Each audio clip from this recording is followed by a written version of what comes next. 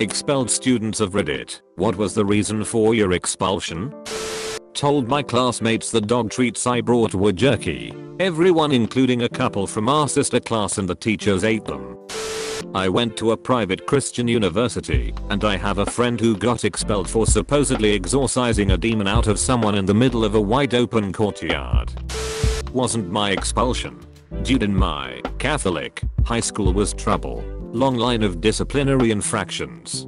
Final straw was that a friend of his got a new car, so he decided to jerk off on it. The senior parking lot was a busy social scene before and after school. People would arrive around 30 minutes early and hang around their cars. Couples would have a pre-class maquillage, folks would chat etc. So this guy, in front of all of us, pulled his pants down to his knees and began beating his baloney. It was funny for the first 3 seconds or so. Then it became clear that this guy was going to finish the job. Came all over the headlight. Some girls made disgusted sounds. Some guys laughed. Most people were just sort of in shock in having witnessed that.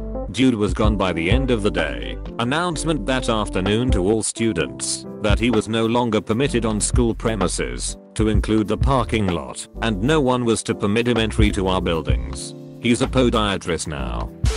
Can I answer by proxy with a story? My high school was one of those high schools where we have a cop who just kind of chills at the one busy hallway intersection. Presumably to deal with drugs or fights or some shit. One day a kid was acting out. I wish I knew the full details but all I knew was he started some kind of altercation or fight and the cop stopped him. The kid was said something like you better get your hands off me and of course the cop did not get his hands off him. The kid headbutted the cop and disoriented him then just beat the piss out of him and hospitalized him.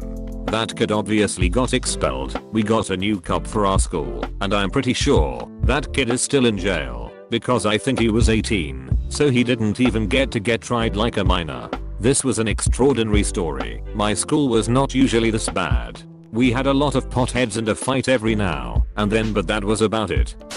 Was absent for too many days had doctor's notes and chronic health problems, was told to never come back. Not me, but my brother got expelled for using a vocabulary word correctly in a sentence. For context, it was not that long after Columbine, and people were overreacting to every little thing. My brother was not a bad kid, but was a bullied kid with a smart mouth. He had a history of making threats read. He once told another kid he was going to eat his grandchildren.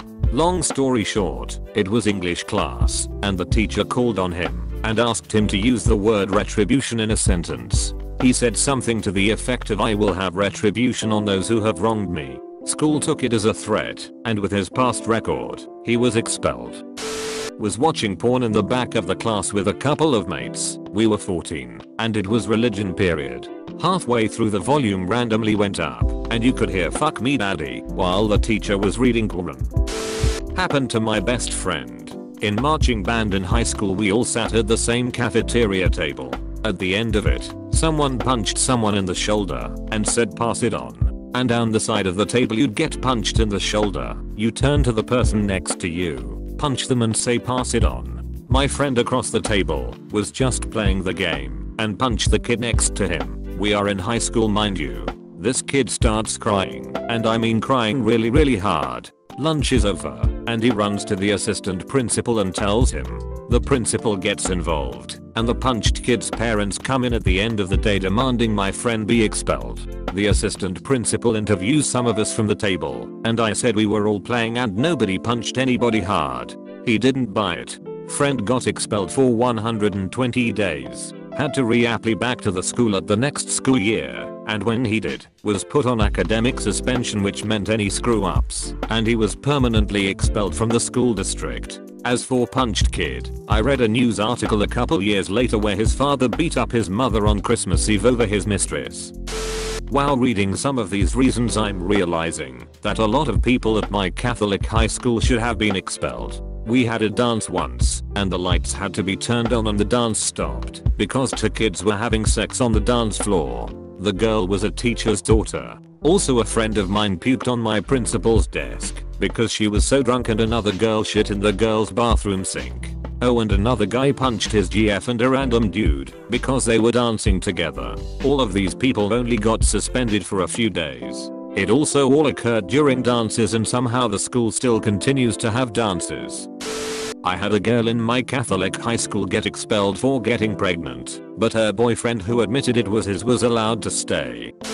A good mate of mine pissed in the holy water. Lightsaber battle. My friends and I arranged a giant lightsaber battle on the last day of my sophomore year of high school. It was a huge hit with the students, but the faculty wasn't thrilled. Being a private school, they felt it hurt their image and singled me out as the ringleader. On my first day back after the summer I was put on academic probation and expelled about a week later for profanity. Went to public school for my junior and senior year. Totally worth it. My friend and I stole a girl's reading book, singeing the edges of the cover so it would look like lost pirate booty and hid it in the art room. Then we used three rolls of masking tape to create a third spiral maze of stickiness that crisscrossed the room and gave the girl a singed edged pirate map to locate her book. She rolled her eyes at us, clambered through the tape maze, and retrieved her book, calling us dorks and laughing. However, a teacher discovered the taped up art room before we had a chance to take it down. My friend and I were called to the principal. I figured we were going to get in some trouble to wasting tape or possibly suspended for using a lighter inside school. Nope. The principal explained that we had engaged in burning books which was an artsy behavior. When we tried to explain how our edge singing was merely decorative, she argued that any non-Nazi interpretation was obviously a lie, because she had seen with her own eyes very clearly that we had used masking tape to create a giant swastika in the art room. A swastika? No, it's just a big vortex of tape. It's a, a maze. This wasn't a final straw type situation. Neither my friend nor I had ever, ever done anything before that could be somehow construed as Nazi positive. We had no interest in Nazis, weren't currently studying Nazis, and had no sympathy for Nazi thought. We had, however, neglected to know much about the book we'd taken from the girl. She was in a different English class than we were, and was reading a book we didn't know. It turned out to be Night by Elie Wiesel, a first person account of living through the Nazi Holocaust. So from our point of view we were screwing around, wasting tape and being silly pirates. But from the principal's point of view we had desecrated a book about the Holocaust and created a giant masking tape swastika in the art room. Oh, and the girl we had stolen the book from? She was Jewish. So was the principal. We were subjected to a long uncomfortable monologue about the horrors the principal's family had suffered trying to escape the Holocaust. At the end of it, we made the appropriate noises of shock and contrition, and once again tried to explain how it really was a big misunderstanding, and that our actions were certainly dumb and irresponsible but not anti-Semitic. But the next thing that happened was we were walked to our lockers and told to empty them. Our parents were called to pick us up we were no longer welcome on the school property. The Board of Education would assist us in trying to find new placement at different schools so we could complete the 8th grade elsewhere. So that's why I was expelled. The one and only time in my life I was ever accused of being an accidental Nazi. I skipped school for sports day to study for university entrance exams. Got expelled from school in my final month for doing this. It suited me fine. More time to cram coffee in middle school. It all started with this one kid, I'll call her Becky. Her mom drove her to school every day, and her mom bought at Starbucks. She'd share it with her friends, giving the sips. It was one of those real sugary specialty drinks that mask most of the coffee flavor. Becky and her friends were pretty popular, and as they went so did the school. It became a hip thing to come to school with a coffee.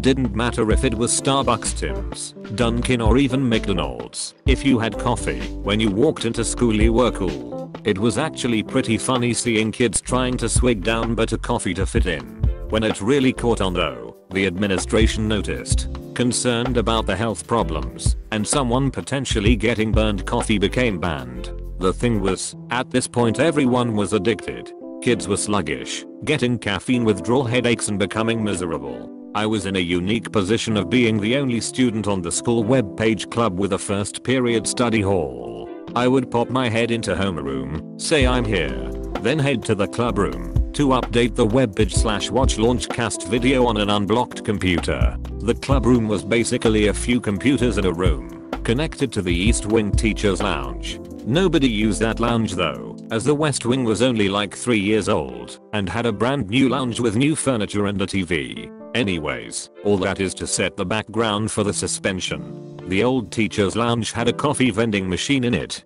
50 cents for what I now realize was crappy instant coffee. I saw my opportunity. I'd have my friends give me a dollar and their order. I'd sneak into the lounge, get them a cup, and once they got a bathroom pass, they'd swing by and pick up their coffee. We were smart and used cans from the juice vending machine. Soda had been banned, but we had a minute maid machine.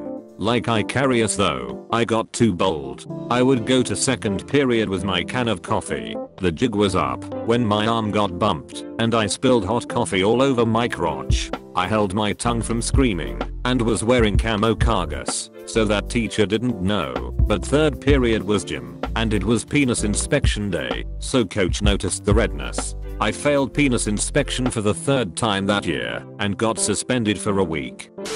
I had to go before the school board to see if I was gonna get expelled, but they decided not to. I sold a bunch of caffeine pills to my friends for 25 a piece and they were all worried about drugs. They even sent them off to be tested.